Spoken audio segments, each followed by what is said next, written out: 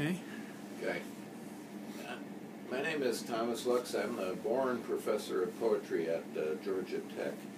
Uh, I got to know John Stephens a, a couple of years ago when he started coming around to poetry readings, and uh, I started looking at uh, pages of a memoir uh, he was writing. One of the the first things that struck me, of, of course, when, when you hear more about the book is I, I wish this was a book that never had to be written but it had to be written. Uh, and over the past couple of years, I've seen this book go through uh, uh, different changes and growth and revisions and editing, uh, etc. And it's a powerful uh, uh, book and an important book about a, about a terrible loss in, in one's life.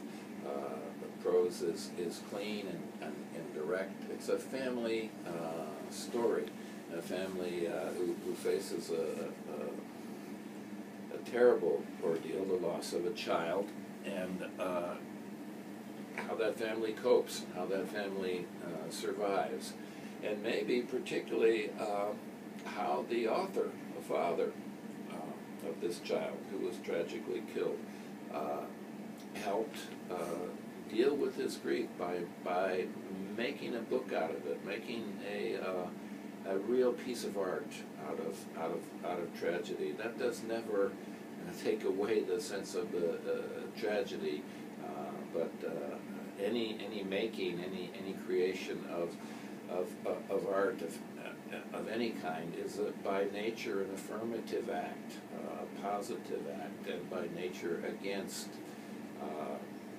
the terrible things that can happen so I'm, I'm deeply moved by this uh, book and, uh, and by the process uh, at which it was written, uh, the time and, and the energy and the effort that John Stephens put into this uh, book uh, to make a,